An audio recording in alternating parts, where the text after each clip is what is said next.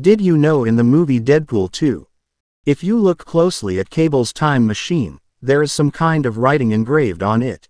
The writing is a watch brand originating from Switzerland. This watch is also often worn by John Wick in his films. Bye bye. Bye, Yukio.